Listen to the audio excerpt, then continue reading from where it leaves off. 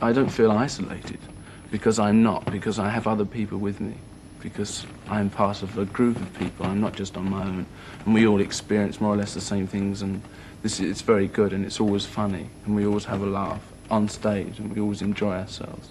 And I don't feel alone on the stage, and I also don't feel alone because I feel for, um, a sympathy for the audience.